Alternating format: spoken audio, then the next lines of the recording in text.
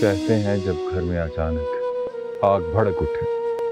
जो चश्मो जन में हर एक शय को अपनी मौत की लपेट में ले ले तो एक ही रास्ता बचता है। घर की सबसे कीमती चीज़ हाथ में लो और उससे दूर निकल जाओ।